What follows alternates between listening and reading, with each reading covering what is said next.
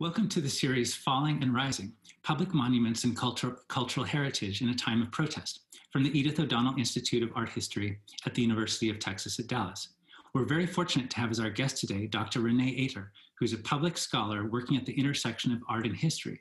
She's the founder of Contemporary Monuments to the Slave Past, a project which has been supported by fellowships from the Smithsonian, the Getty Research Institute, and the NEH Mellon Foundation. For the current academic year, she's the Provost Visiting Associate Professor in Africana Studies at Brown University, and she's also Associate Professor Emerita of American Art in the Department of Art History and Archaeology at the University of Maryland, College Park. Her research and writing concern race, monument building, and national identity. She's the author of numerous articles as well as two monographs, Keith Morrison and Remaking Race and Identity, the Sculpture of Meta Warrick Fuller. And she's written numerous essays on a wide range of public monuments. Thank you so much for being with us. It's a pleasure to be here this afternoon.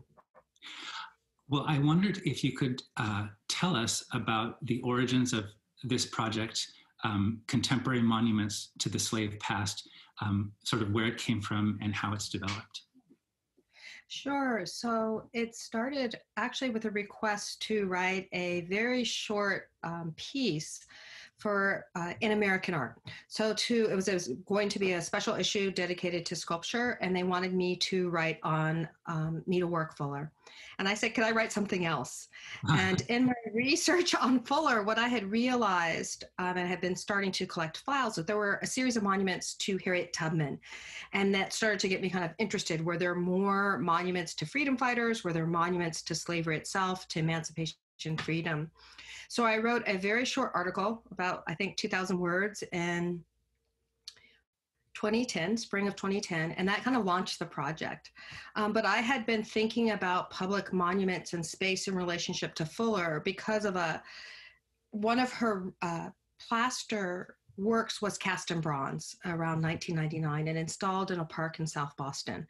And so I wrote about her in a dissertation and then I wrote a book on her. But I was really interested in the fact that, that not only did they do a contemporary cast of her plaster, but then they commissioned a contemporary artist to do another monument to Harriet Tubman within that square. Mm-hmm. And I became you know increasingly interested in the intersection of public space and monuments and race um, mm-hmm. as time kind of went on and um, you mentioned uh, you mentioned that piece, and I I was wondering, um, you know, also given given kind of the range uh, range of monuments that you studied, quite a wide range, um, you you have sort of a sense of the the way that uh, the views of artists and the public have evolved over the decades. And I, I was thinking, for example, of one piece that you mentioned, the the 1999 sculpture for Mary Turner, which was done by Fuller, um, and you, you wrote about that in the context of the uh, contemporary National Memorial for Peace and Justice.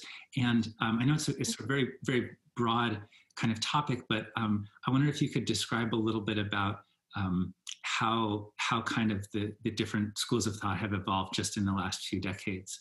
Um, Do you mean in relationship to monument building? Right, like right.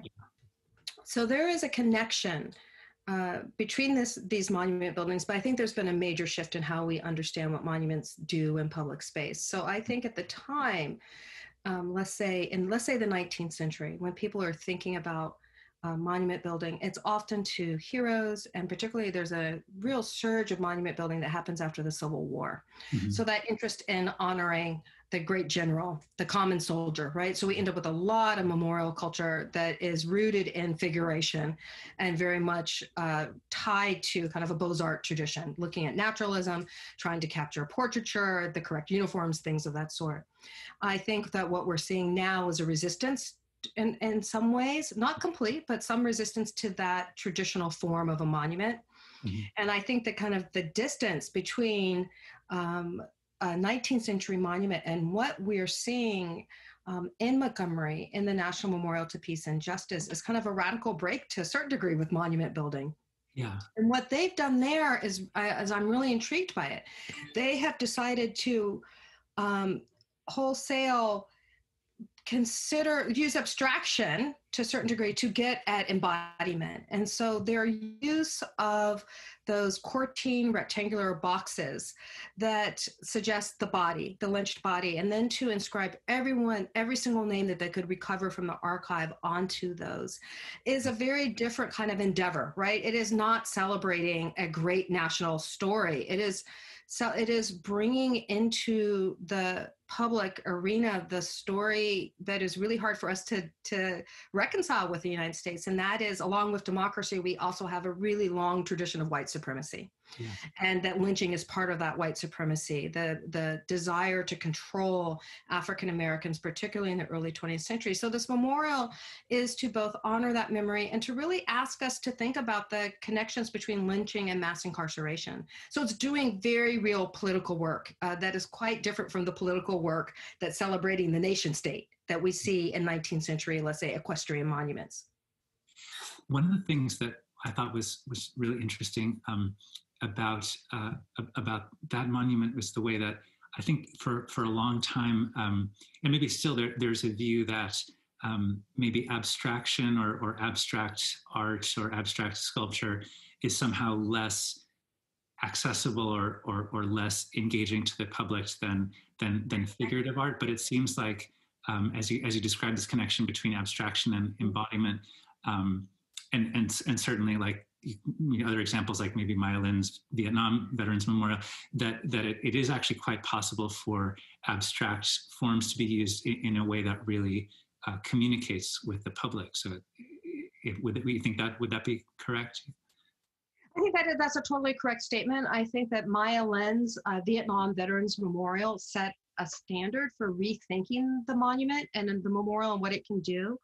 Um, I think her inclusion of names and the process of naming and reclaiming all of the deceased in the Vietnam War was a really important precedent. Yeah. Because then what we see in Montgomery, Alabama is that is in fact I see that monument is tied to Maya Lin's in the in its evocative yeah. use of naming and also abstraction. So yeah. I don't uh, and in this sense, the public has embraced both of those memorials. It has allowed it has allowed kind of space for grieving in that abstraction. I would argue. Yeah and for people to make meaning uh, for themselves in relationship to those two memorials. Yeah. I, I was I was really struck. I mean, I'd, I'd read about uh, the, uh, the, the monument before, but um, but maybe I missed the part um, that you described where the um, the the going going county by county. There's essentially this challenge or, or invitation to each local county in America to essentially accept to to come to terms and accept their own collective responsibility. And and so any anyone who visits this can see basically which counties in in the country have responded to this or not. Um, I, I, thought this was um, i mean I, I i'm not sure how many you know if, if it's been widely taken up um, or not. But but I thought it was it was a great, a really challenging way of engaging it beyond just this particular location to try and connect with with people in different other locations as well.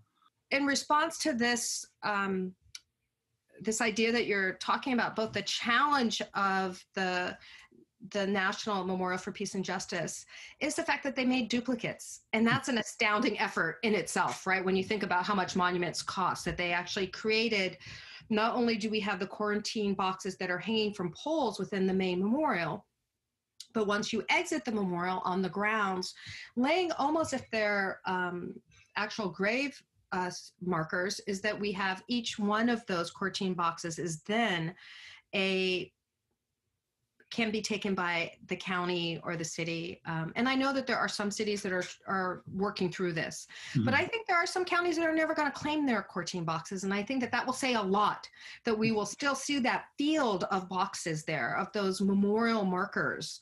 Um, in Corten as they are transformed over time, right? Through the environment hitting their surfaces, right? That's part of the Corten, the quality, the materiality of it is that it will transform over time.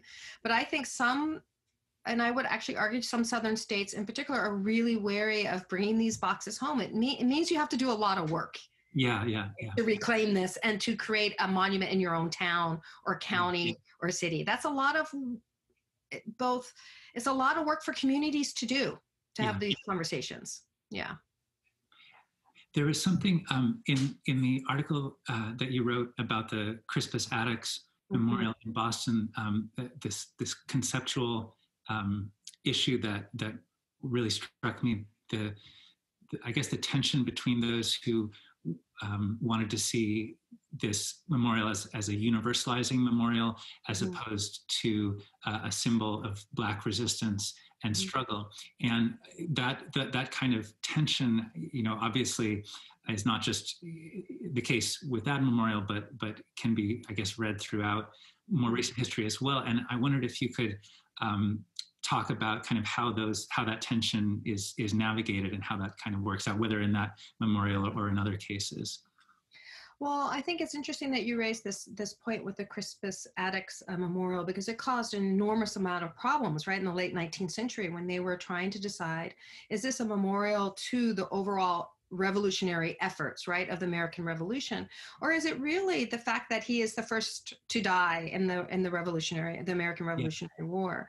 Um, I think this idea between the universalizing and trying to recognize African Americans' contribution is one that has been very difficult to actually realize in the United States. Yeah. Um, I think that we tend to want to universalize because it's easier. It's yeah. quite frankly very hard to have the, as I said earlier, in relationship to the National Memorial uh, for Peace and Justice, it's very hard for us to have these conversations around race and, but also not only about race, but also about history and whose histories get told.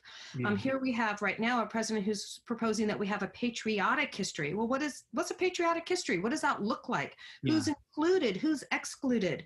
Mm-hmm. Um, and these issues certainly apply to African Americans, but they also apply to women. They apply mm-hmm. to other uh, groups in the United States, the Chinese, the Japanese, Latin Americans, uh, Latinx uh, communities. So this is a much broader kind of push pull that we're seeing, right? So this desire to both, and memorials or monuments in general, in my mind, have are often tied to the state or to the mm-hmm. nation. And they're delivering they are delivering patriotic messages and they tend to deal with the patriotic message of war that yeah. we fought the good war we have a lot of war memorials in washington d.c um, but when we do get a memorial to an individual let's say african american there's always seems to be controversy over this right. there was controversy when they put the denmark vesey uh, sculpture up uh, um, there's controversies around even the Martin Luther King Memorial that is here in Washington. So mm-hmm. it's because we want to read someone, let's say, like MLK as a universal figure, but he was really, he was, but he's also pushing for right equal rights for African Americans. It's very explicit. That's what the civil rights movement is about. Um, yeah, it's yeah. for all, but it's also very how do we get Black Americans to be part of this union that we have here in the United States. Yeah, I was um, I was going to ask you about you know whether you might cite examples of um, maybe more recent monuments that that in your mind had been uh, particularly successful in in kind of negotiating that and but when you were um, when you're speaking just now about kind of patriotism and so forth i was i was thinking also of uh, what you'd written about the um, the Tuskegee, Air, Tuskegee Airmen Memorial and how their their military service.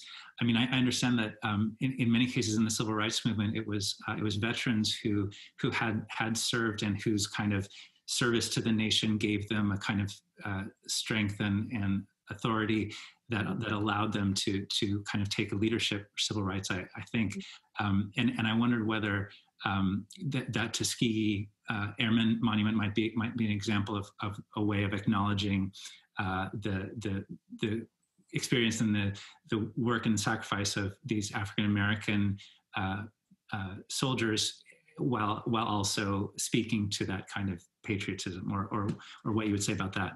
Yeah, so I think that's both that memorial and a memorial here in DC that is about um, the African American Civil War Memorial. Right. So what those two memorials, I do think actually exactly what you're saying. They do, first of all, they're showing African American contribution to military service. This is a long, you know, for almost 100 years, there's been a lot of writing about African American service despite the inequities that they've encountered uh, in uh, the United States. So that those two monuments, and particularly the Tuskegee Airmen, super interesting because it is a both a what I consider kind of a memorial, but it is also a historic site that you go through and you enter into a airplane hangar and you experience yeah. uh, voices and a very particular kind of site. But what that what they do uh, there uh, in Alabama is to really at Tuskegee is to at the Tuskegee site at the Tuskegee Airmen site is to really raise the important issues of the way in which Black servicemen um, were willing to serve the nation despite racism, despite hmm. segregation, despite lack of access to citizenship and the right to vote. They yeah. still put their lives on the line for the union yeah. for, for the for the nation. And so what these two monuments do, although very different times. One, the African American Civil War, which traces the United States color troops' contributions, mm-hmm. and then the World War II. And it takes up to, to World War II for the Army to get integrated. I mean, it's yeah. a very long time where African Americans are serving in U.S. wars. Yeah. They are on the side of American democracy, um, yeah. they are treated incredibly. Um, with disregard to a certain extent uh, in these in the army in the navy et cetera it's um, uh, the the uh, experience. I mean, um, I, guess just the the kind of well, you you spoke a, a minute ago about the um, in, in, the memorial for for peace and justice, the way the way those those names speak, and I, I think there's just um, um, the, the, the way like some something about uh, putting one's as a viewer putting oneself in the place of, uh, of, of the, the Tuskegee Airmen or the, or the Civil War veterans who, as you say, were, were willing to put their lives on the line for, uh, for a country that was at the same time not willing to grant them the fullness of citizenship and, and full, full rights is, is so, um, I mean, it's, it's almost, it's almost impossible not to be kind of humbled by, by what they did really. Um, but I guess um, I mean, we've been speaking about monuments, but you'd um, you'd also written about how um, your uh, your training and, and, your background within the academic discipline of art history, after doing uh, some significant work in that area, led you eventually to decide to move very consciously to a more public-facing kind of work, um, to the point where your your primary focus at the present time is is work that's addressed to the the public outside the academy. And I was wondering if you could tell us a little bit about kind of how you uh, how you made that uh, transition. So I think when I decided to do this project, which was a decade ago, which is kind of astounding, yeah. it's and, and, working on it dribs and drabs as a full-time faculty member and with lots of service at a public university. Um, I think from the very beginning, I know from the very beginning, I wanted it to be an open source project, which in many ways is counter to what the Academy. We uh, publish with academic presses. Much of what we produce is behind paywalls. I think that's yeah, shifting. Yeah. Um, but I was really interested in how do I kind of work against the paywall? Uh, how do I speak in a voice that's clear to a public so they understand me? Yeah. And so I've been really trying very hard to address most of my work uh, really at a kind of a high school, college level so that yeah. people can engage it and understand it. Um, and so when I first started the project, I immediately thought I need to find platforms that allow it to be open source. Mm-hmm. So I deliver this project on Omeka and on Scalar for now. It may even switch to WordPress. I'm still mm-hmm. working all that out. But part of what I was interested in is how can I shift away from art history, which is a fairly exclusive uh, discipline that has deep roots in Western tradition. Mm-hmm. Um, and I think after years and years of being an art historian, I felt like, why am I continuing to? I feel like I'm banging on a wall that just is not going to fall down. Yeah. It's not going to change, that is resistant. Um, and I say this in the sense, yeah, there's lots of scholars who are doing interesting works around race and gender, but there is still a profound um, focus on the West and the way that we perceive art history, and everything else is non-Western. That's not acceptable anymore. Like we mm. don't get to use that vocabulary. I think also as I was working on this project, I really started to think more and more about the colonial endeavor that's art history in the sense of its alliance with museums and with the marketplace. Mm-hmm. And with capitalism, and those are in some ways something we can't undo because they're so deeply knitted together the marketplace, the kind of gallery museum and then how we do our academic scholarship, I think mm. are very deeply tied together. But it really came from this desire to speak to a broader audience and to move my scholarship out of uh, certain kinds of uh, engagement with a theoretical framework. It doesn't mean that I don't think about those issues. That has not gone away. But there's a way that we can talk to the public that doesn't have to be uh, so enconced in this language that people don't understand us. Um, yeah, yeah. I've had people say that to me a lot. Like, what exactly? Every time an art historian talks, I don't know what they're talking about. Well, that yeah. actually, we need to be better at that, uh, right? We want people to understand what we're doing. So, through the project itself moved me towards this idea of public scholarship. And then i think as i was i retired from the university in 2017 it was a very deliberate move on my part um, to try to also kind of reinvent myself outside the space of the academy. And is that possible? Like once you spent 20, 25 years doing this work, what would it look to be a public scholar? Uh, would yeah. anybody listen to you? Would anybody come to your project? I mean, these are all concerns I have actually. Yeah. Um, are people reading the work? Are they excited by the work? Do they want to pursue it? Um, and I know that it's it's had some impact because even my neighbors follow me now, follow my site. Uh, they've also volunteered for the project. They're really they've come to my lectures at the Smithsonian, so it tells me in that sense it's really reaching who I want it to reach. Yeah. Um, the project also has uh, one of the bigger things about the con- and, and it's tied to the public scholarship is I have a fairly I've mapped all the monuments. So one of the things I've also it's forced me to think outside the box of a book.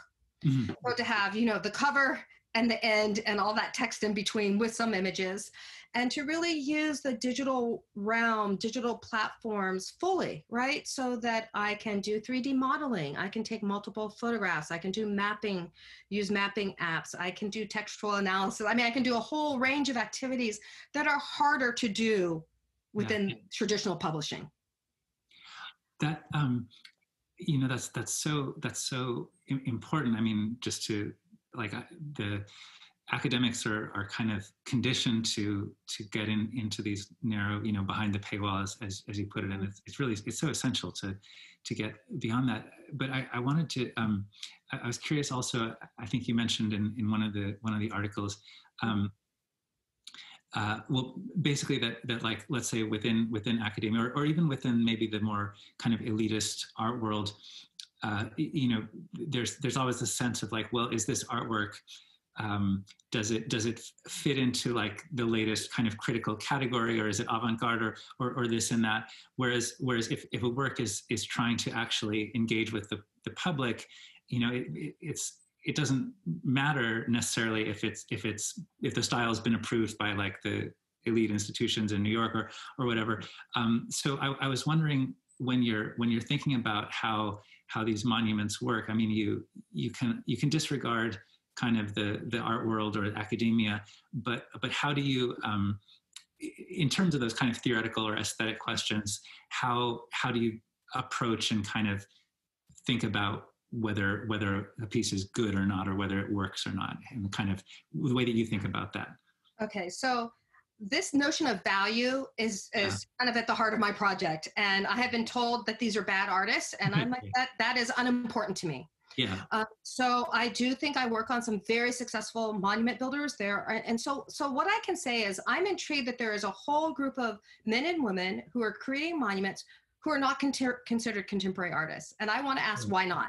Yeah why is it that we have such a small narrow group of artists that we study over and over?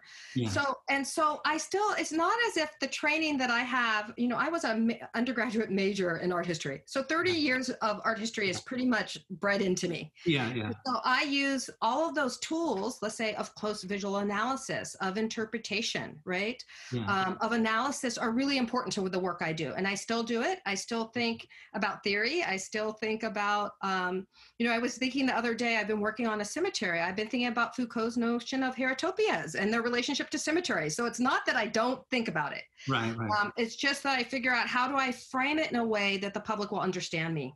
Yeah. Um, and how does it perhaps in a very in a way that may not be visible to some people, but that scholarship is informing my project. Yeah. I'm just choosing to present it in a plain English format, to be totally honest with you. Yeah. Um, but there, there are value judgments. There are some monuments that I am working on that I think, oh, maybe they shouldn't have received this commission. there are monuments that I'm like, Yeah. not a great monument. Uh, it's, and it's there and it's in public space and that's what they voted on. Um, there's some of these artists who I think are doing a brilliant job um, with figure figuration. So this becomes a, a, a bigger issue in my project because most of the artists I work on are artists working with the figure. They're working in representation. Yeah. Um, and this is and communities are picking this. And I would gave a talk um, about a year ago where a pretty well-known contemporary scholar said, "Well, that's not they're not really producing cutting edge work." And I'm like, "But that's not what this is about." Right. The right. reality is if we really back up and listen to what communities want, and if we listen to these art processes that work through city governments and percent for art programs, they people oftentimes want representation. They want something that they can readily understand, and I think that that is not a bad thing. Yeah. Um, I do think there are certain artists who might rethink what they're doing, but I also think that there's, I guess, what I would like to see is that there is space to kind of open up what art history gets to be Yeah. yeah. and that this project really gets at that there is a whole range of people producing what we call art who don't fall into the into what a traditional canon Yeah. There's so um, I mean there there's the the, the site um, the, uh, the, the the the website the project is is full. I mean there's there's so much on there, and I was wondering if um, uh, just kind of almost well if there was if there was a particular out of out of out of all the different examples that you've that you've worked on um, this if there was a particular monument or or a particular community that you might cite as as being especially successful or, or, or where you felt that the the community or and the artist really did a good job like especially so of, of, of kind of succeeding in, in building this kind of public uh, public monument well this is going to come as a surprise but i actually i believe that the african american civil war monument did, Hmm. did a really good job in the sense that it was driven by a city council person yeah. the community knew it was going to be built they were super excited about it. There's a girl scout troops that still take care of it so it has community engagement today. Yeah. boat boatloads of bus loads excuse me bus loads of, of tourists are coming to that site and what i mean by that is there are very specific kind of tours that they hit with african americans who are going to the african american civil war memorial and then to the mlk memorial Mhm. and I would say the MLK Memorial to me is actually successful. I don't actually agree with its social realist form and its gigantic size. However, when you see people moving in that space, and I see I'm around that monument a lot, and it is astounding how people are responding to it. And people are are going there because they feel as if they can hone in on recognizing the civil rights movement as essentially important to America and to American democracy. And I think that is quite amazing to see. So, our critiques of that monument as art historians don't fly with the public. right right yeah i um it's another thing i was it occurred to me when you were thinking is that in um you're speaking about the uh, kind of addressing the public is that a, a lot of times um teach in the in the classroom like undergraduate students who haven't been kind of placed into the world of academia for so long um, Mhm. are, are often quite open or, or, or less, you know, if we think about art history, it's, it's often kind of the, the more embedded that one is in those institutions, the more narrow-minded one can be in the sense of, of dismissing this or that. But, but, this, but the students who are interested in art history, I would think would be very open to, um, to, to considering works that the more elite institutions might, might dismiss. Um, I, but I, I wasn't sure if actually, are you, um, in in this current uh, fellowship uh, or at, at Brown, are you teaching right now at the moment? I am. So, Okay. what is so? And I wanted so before I answer, I just want to say there's two other memorials that are actually in my area Oh, that I please, work at. one yeah. memorials that have been really good about engaging, and one of the ones it took them 20 years, but these they were very persistent. Is the uh, memorial at the Contraband and Freedmen Cemetery here in Alexandria, Virginia. Uh-huh. And so they, what I've have been impressed, at least in reading the process of this, is how they, at all levels, had community engagement. They got all of the local historical societies and community organizations and neighborhood organizations to participate in the conversation. Yeah. Um, they had their where they put the maquettes into a community center that was in a black neighborhood so that everyone could have the opportunity to come and vote. It feels as if it was a very engaged process from the beginning. They thought it out well about who was going to be part of that conversation.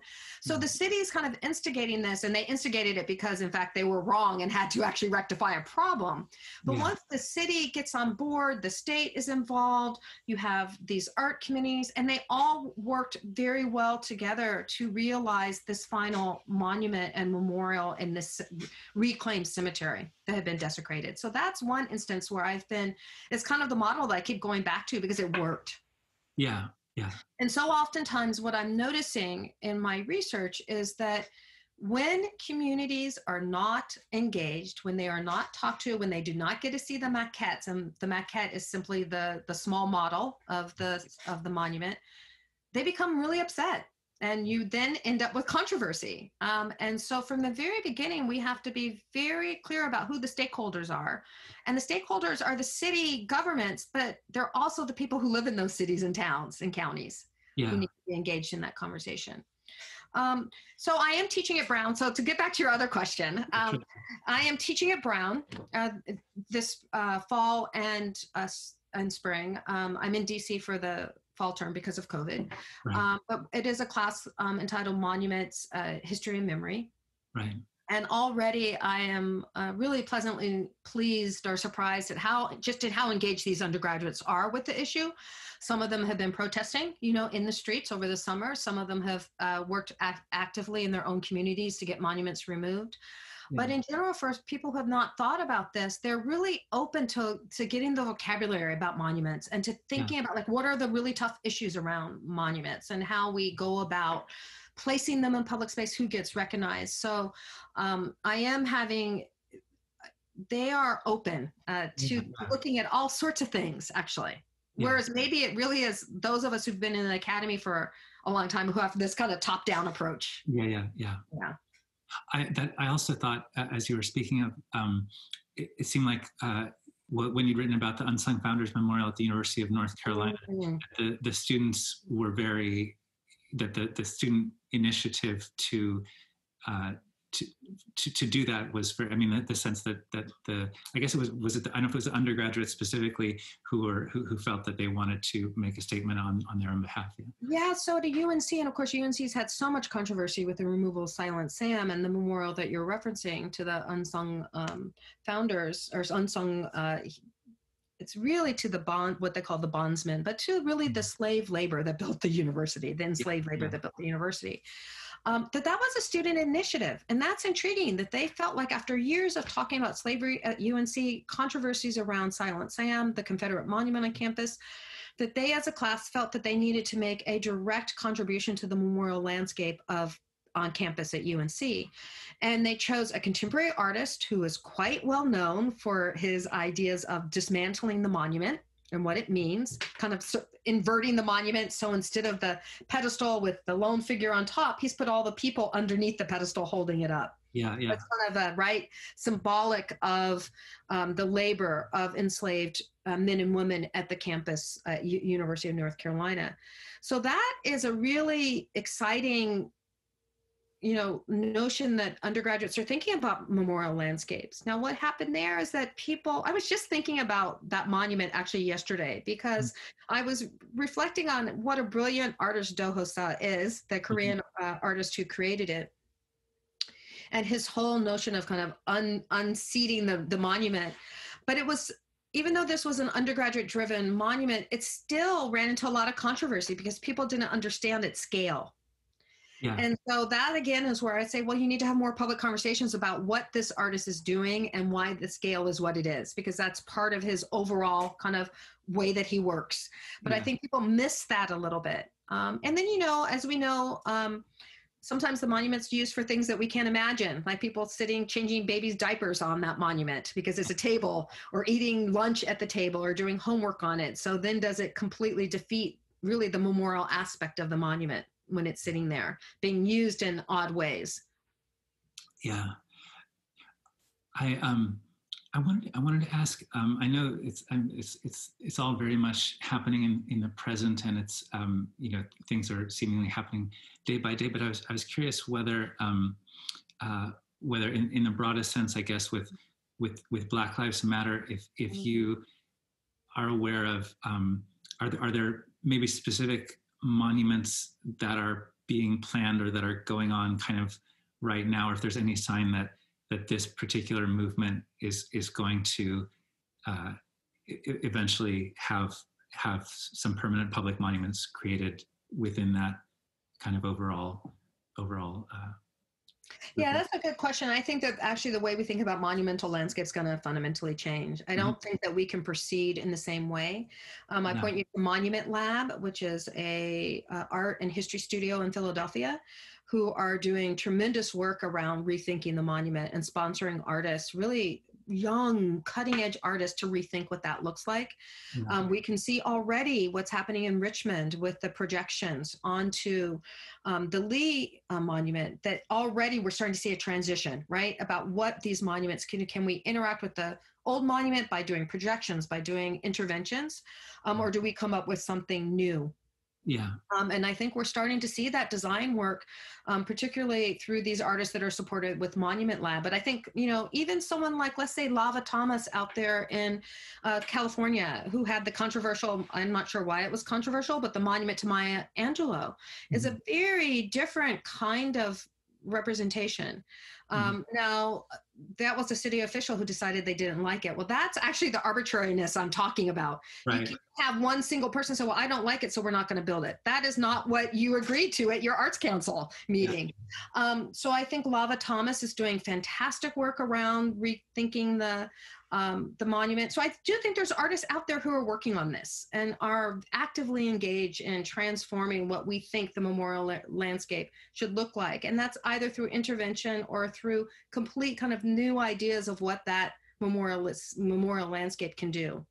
Yeah, I, I was I was just thinking um, there was um, the, the one well an artist who's who's based here um, Jammie Holmes who who arranged for the flyovers with you know, different cities with the planes um, bearing bearing the last words of, of george floyd. And i thought i mean it was it was a, a extremely powerful gesture. But then i was also thinking like with so many i mean i guess with concept i mean this, the whole other issue about kind of um, conceptual art and, and contemporary art like mm-hmm. obviously it's, it's, documented and in a digital age it, it will live on through its documentation um, but but I, it just made me think of how so many contemporary artists use use these kind of forms which are designed to be uh, ephemeral and and it's so it's so different from from a, a, a bronze or marble or Corten kind of kind of thing so it it will be interesting to see in another few decades how how that's translated um, into and different. I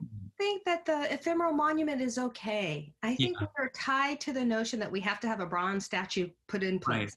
Right. And I think the ephemeral mo- monument actually uh, makes us work harder. We certainly see that in relationship to the Holocaust, that we've ephemeral m- monuments that were put up, you know, in Germany that literally are meant to you interacted and they're meant to be contained within your own memory once it's gone yeah, yeah. i think that's a fascinating way to think about this that these or i'm noticing um, that there's some a group called the Smith Group that created something called Society's Cage, and it was up on the mall for just two days. And their whole idea is that they want to travel it. So that's also fascinating to me. That we are we going to have these kind of traveling temporary monuments that show up in different cities across the United States. Um, and that's a very high level, like the way they thought that monument is very high level and very conceptual. It should yeah. be intriguing to see how it plays out in each city in the United States as it travels around. Yeah. Um, and what that would uh, look like. But you know, someone pointed out, but you know, I run actually, I started a digital memorial after George Floyd's death that is on mm-hmm. Instagram. And someone said, well, you created an ephemeral, but of course it lasts forever because it's somewhere right. there somewhere. on the internet. um, so I am I'm also interested that we could use things like the digital realm, really Instagram, Facebook, um. YouTube videos, Snapchat, even TikTok, if we were allowed to use it to create memorial spaces. Yeah. Because I think what I'm noticing in these spaces is that we have don't have a way to collectively grieve over this. We don't have a good way to individually grieve right. over uh, what we're witnessing with the violence against African, uh, against blacks and uh, brown people, but we also don't have a way, quite frankly, to grieve around COVID. That we have 200,000 plus people who've died in the United States. What does it look to remember them? What does it look to grieve? And I think that these digital memorials are helping people in that way to grieve yeah. and to kind of figure out a plan uh, to yeah. move forward.